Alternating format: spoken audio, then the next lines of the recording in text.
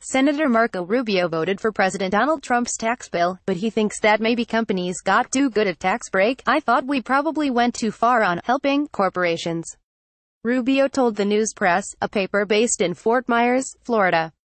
In interview published Thursday, if I were king for a day, this tax bill would have looked different. Rubio acknowledged that much of the corporate tax break would likely go to shareholders instead of efforts to add jobs or increase wages.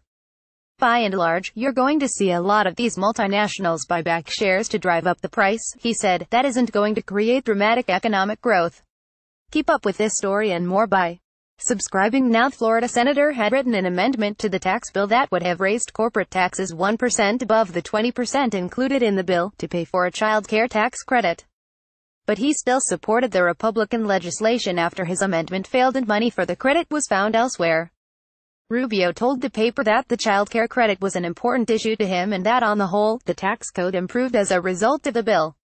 The bill is expected to add roughly $1 trillion to the deficit over 10 years, with the corporate tax cut costing the government about $1.5 trillion in revenue. That reduced revenue comes from cutting the tax rate from 35% to 20%, although Republicans have argued that the cuts would sufficiently boost the economy to eventually pay for themselves. No independent scorekeeper has backed up those claims. President Donald Trump signs the tax bill on December 22.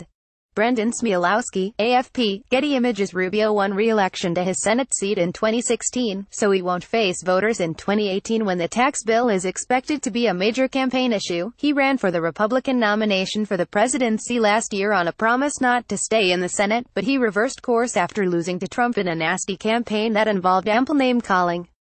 Rubio told the paper that although the campaign was unpleasant, he has found a way to work with Trump. We had some disagreements on elements of tax reform. Rubio said. On the child tax credit, Ivanka Trump was very supportive. There were other people on the economic team that were not. And we had to work through that.